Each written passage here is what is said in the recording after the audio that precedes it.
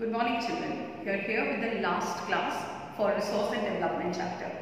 First of all, I would like to tell you that what are the topics we have discussed earlier. So it will be a quick recap. The first we have started the chapter with the definition. Okay. And the definition had those three phrases which I told you. After definition, we have discussed about the importance of resources which focused on that triangle, the relationship between the human, nature, technology and creation of institution. After that, we have discussed the classification and as I have guided you, you have to flow that flow chart, yellow color flow chart, you have to draw in your copies. The types of resources, which is the classification, it has highlighted on the features, the basic features, which are on the basis of origin we have decided, then exhaustibility, after that the ownership, under ownership we have come across a new word which is called international resources. And under that it was the exclusive economic zone. And in that we have discussed that the oceanic content of a particular area within 200 nautical miles. Nautical mile is a measuring unit and beyond nautical miles of 200 it flourishes with the UN government under United Nations. So those areas beyond 200 nautical miles comes under exclusive economic zone. After that we have discussed the last one for the classification on the basis of the development. In this area we have discussed only the availability of technology and resources and under that we have the four classification potential resources, developed resources, stock and the reserve resource. After that children we have discussed about the sustainable development. Under sustainable development we have discussed the Rio Earth Summit which took place in year 1992 where Agenda 21 was decided. After that we have come across with India being a vast country under that we have various states in which all the resources are scattered. So I told you that there are various states are rich or deficient with a particular resource. After that we have discussed about the resource planning and I hope you remember under resource planning we have discussed the three steps. The first one identification, second one evolving with the technology, the last one matching with the nation's development. After that we have discussed that how resources and technology is interdependent with each other. Children, remember one thing, any area which is rich with resource, they need to have a good technology access. Without that, we cannot access to resources. After that, we have discussed that India has a history of colonization and Britishers actually exploited the resources drastically and we have to do a lot to make up that loss. After that, we have discussed about the Gandhian philosophy. I hope you remember. I would like to read that Gandhiji's ideology once again. There is enough for everybody's need and not for anybody's greed. And remember this, with this Gandhiji has told to the entire world only the one message. That is, he focused on not on the mass production but production by the masses so that everyone should get a chance to get employed and to utilize resources carefully. After that children we have come across with land resources. Uses of land we have discussed and what kind of agricultural and non-agricultural uses we had. And after discussing the land resources, we have come across with a very very important topic that we are experiencing a decrease in the cattle feed that is pasture land. So we need to think over it and I have showed you the pie charts. I hope you remember the pie charts. So you have to take care of these pie charts, the data, compare, analyze and understand what are the reasons behind if we are lacking in the number of flora and fauna or the cattle feed getting decreased. After that we have discussed children the land degradation and the conservation methods. I told you in my previous video that I am going to tell you about the methods which is used for the land conservation now, after this, we are going to highlight once again, there are various causes. I have told you on page number 7, below this pie chart, there is a paragraph. This paragraph I want to focus. This paragraph, I told you that we are going to frame questions and I am going to give you the question and the answer you are going to find out. Okay, the answers are very easy. You have to just find out the states of India. Hmm? Now, Children, the very first question you have to focus. What is the major reason behind the land degradation in these areas? Jharkhand, Chhattisgarh, MP and Odisha. I am repeating my question. Major reason behind land degradation in Jharkhand, Chhattisgarh, MP and Odisha. From this paragraph, the question number two which is made is overgrazing is the main cause of land degradation in which states of India? I am repeating overgrazing is the main cause of land degradation in which states of India? Third question from this paragraph is Punjab and Haryana suffer from which factor of land degradation? Children, listen carefully once again. Punjab and Haryana, the mighty states the bread baskets of India suffers from which factor of land degradation? Read that particular paragraph, find out the answer. After that children, I hope you remember the four points I have given you in my last video which states these are the conservation methods for the land degradation. Under that I have told you the very first, the most important is afforestation. That is nothing but the planting of more and more trees. The second one we have, we need to plant shelter beds. We have discussed in class 9th also that when at an elevated area we plant trees in a series, it actually accelerates the wind movement. We call it as planting shelter beds. The third one I told you stabilization of sand dunes. The sand dunes are the dunes which is found in the desert area and what happened with the force of wind it goes carried away. So government has actually planned to make the methods to check this land degradation of sand dunes by stabilizing it. And how they are going to stabilize it? They grow the thorny bushes around it so that it gets intact. The last but not the least children, we have discussed about the proper waste system management that we need to take care before we dump it into the land because it leads to land degradation.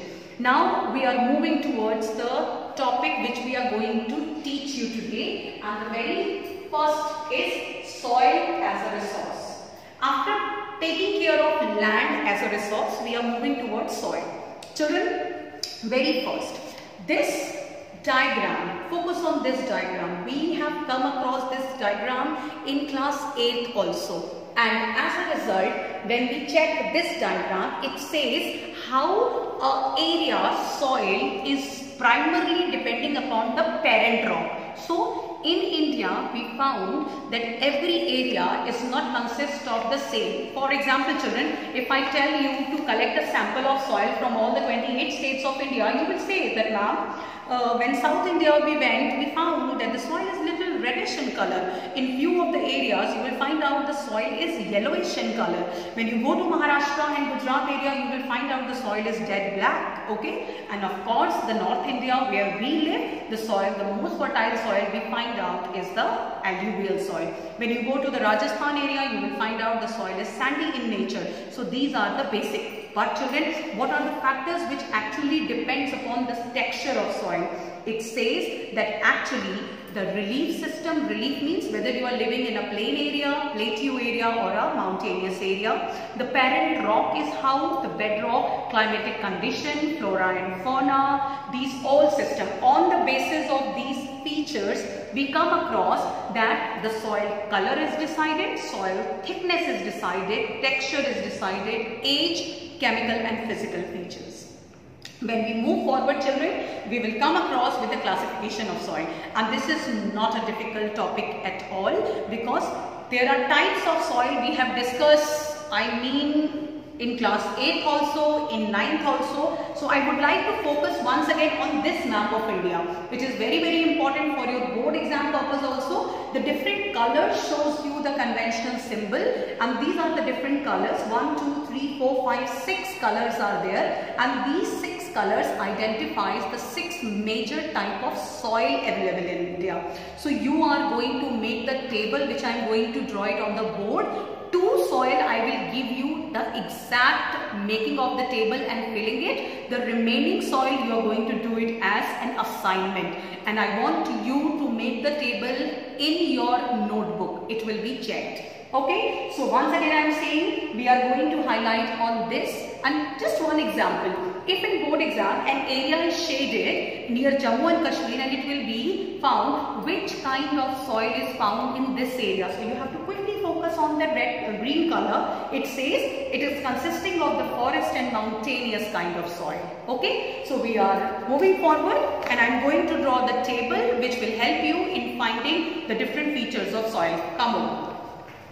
The very first we are going to highlight is the alluvial soil.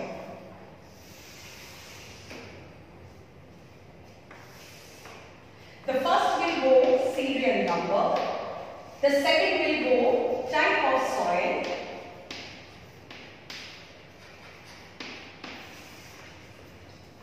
The third will be area or states covered.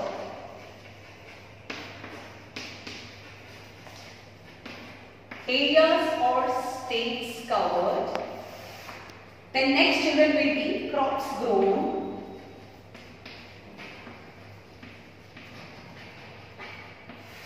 And the last one will be children specific feature.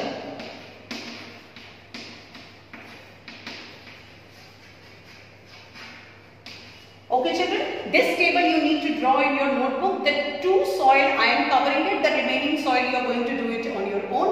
First you will read the paragraph, you will find out these features, the states and the crop grown and you are going to write. The first one is the most mightiest soil out of all the types of soil we have is the alluvial soil. So we are starting with the first is alluvial soil. Alluvial soil. Children, if I read the paragraph, I have found that the areas of the state covered will be its areas of Himalayan river system. Areas of Himalayan river system. And to precisely if I have to say and if I have to write down within bracket the Himalayan river system we can't write specific state if we have to write down that we are going to write down Uttarakhand, UP, Bihar, Punjab, Haryana.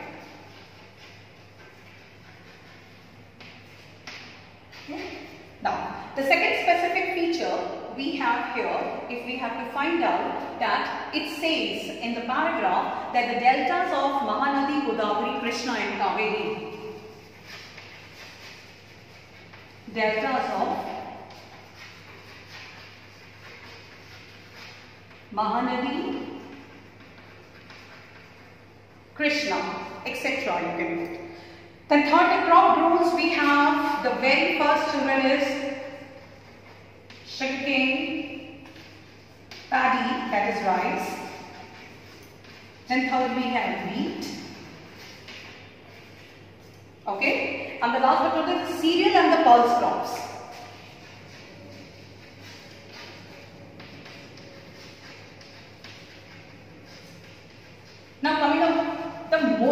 This you will find out very easily. Remember one thing, the NCERT language is very very important. So there are keywords given not to miss it. Specific feature we have consists of various proportions of sand, silt and clay. Consists of various proportion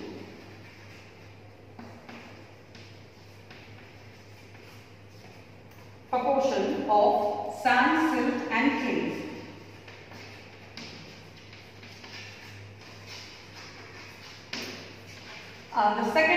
Is it actually forms the coarse soil. Alluvial soil is of two types children. One is of fine quality, one is of coarse. Okay. So the coarse soil we find out of alluvial is the three keyword is given. If you will read it, you will find out the coarse alluvial soil is of three types and it has the word duar, chos, C-H-O-S and terai. I have written two specific feature children. When you will come across in the book, you will find out that there is a most important feature which is written, which you have studied in class 9. there are two types of alluvial soil we have. The old alluvial soil we call it as the Bangar soil and the new alluvial soil we call it as the Khadar soil. Okay. So I am not mentioning it here but you are going to write down in your notebook this specific feature.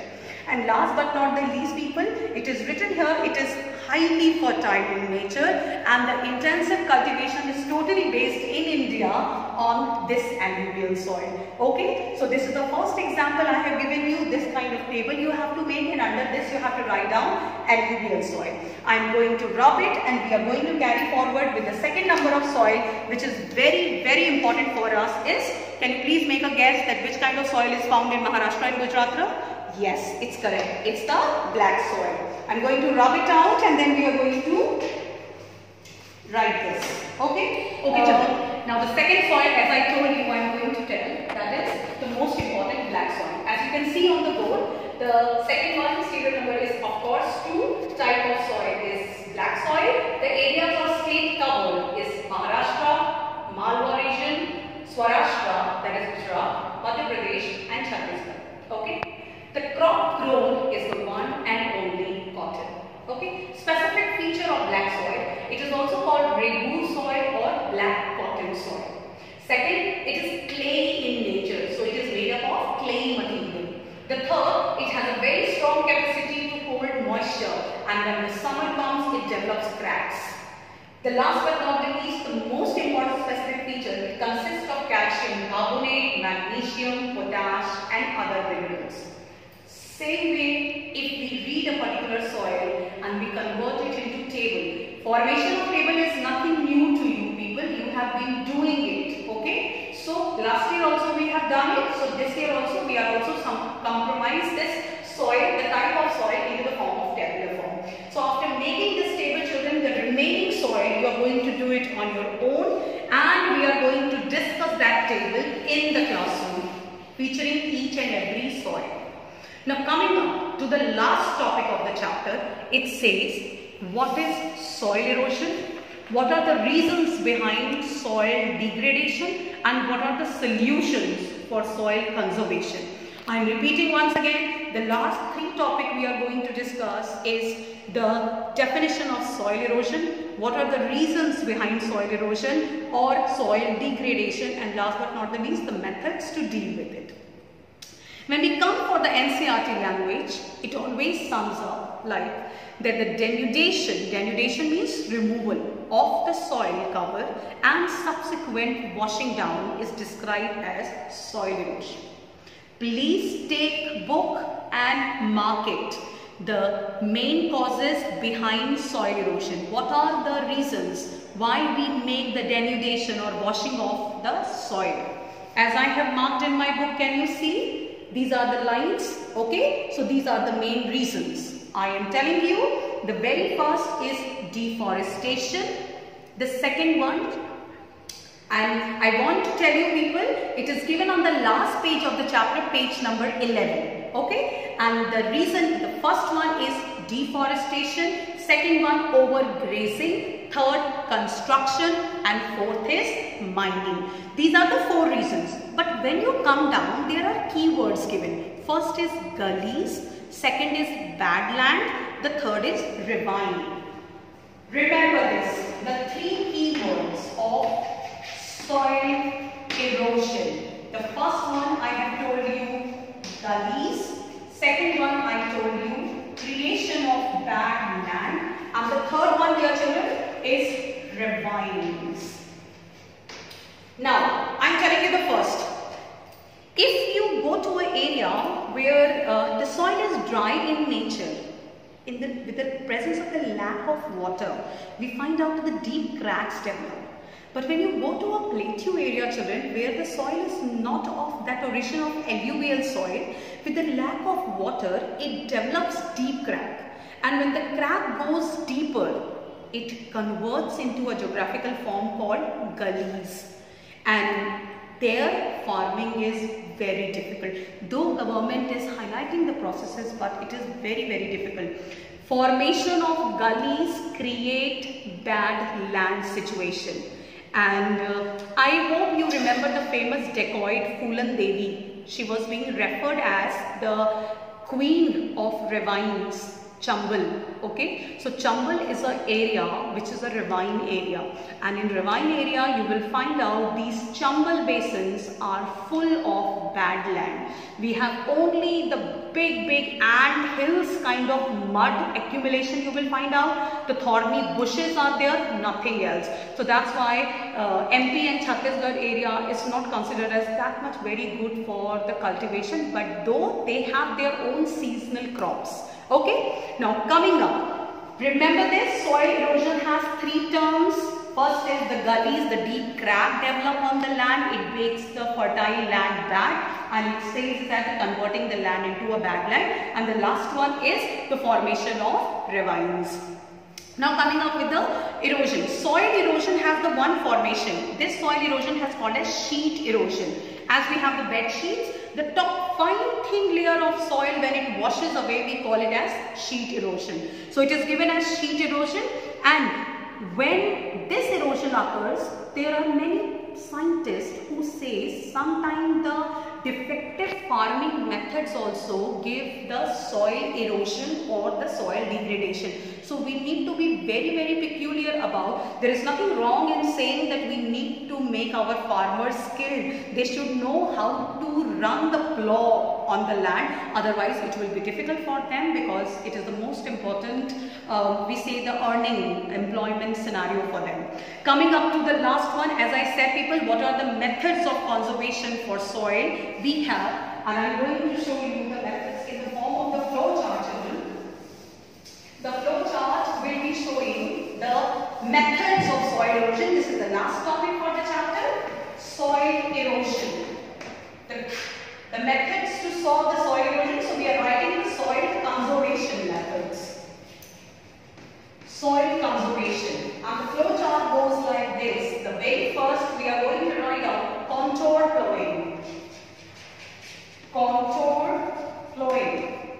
Plowing through the contour line is contour plowing. Okay. The second one very famous with the hilly areas we have terrace farming.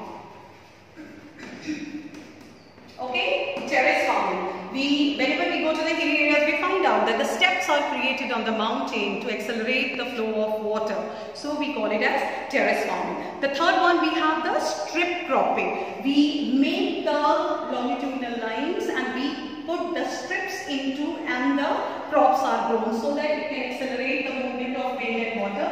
So the third one is strip cropping.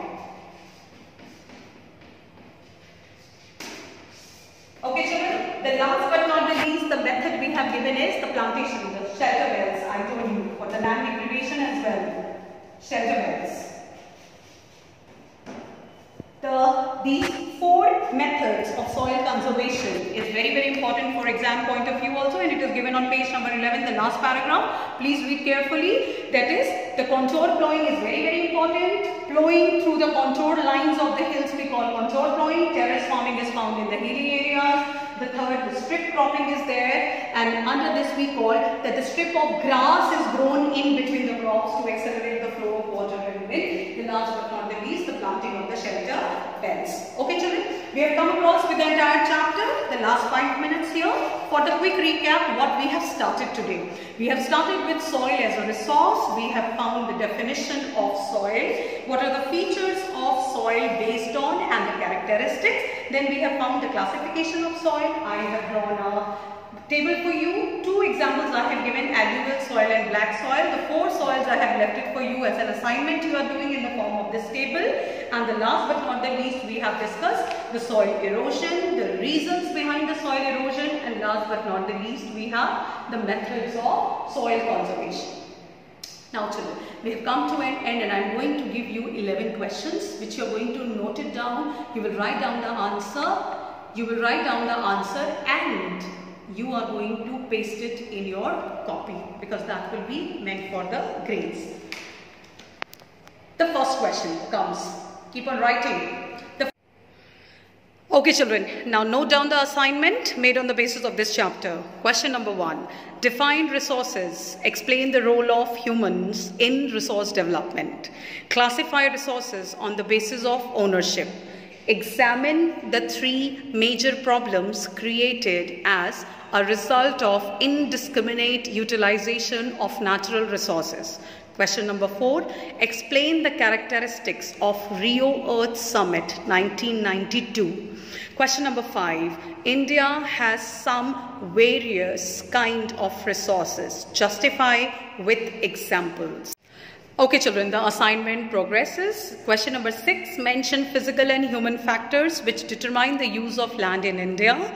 Question number seven, what is National Forest Policy? Highlight the environmental values of forests. Specifically for question number seven, you have to go through the book because this is the question which I have taken from the highlight resources. So please find out the answer. Question number eight, explain the importance of resource conservation. Question number nine, five measures to solve the problem of land degradation in India. The last question of the assignment goes like this, enlist three methods of soil conservation. After doing this assignment, finding the answer, writing it neatly, making the table, you are going to paste it in your notebooks for your grades.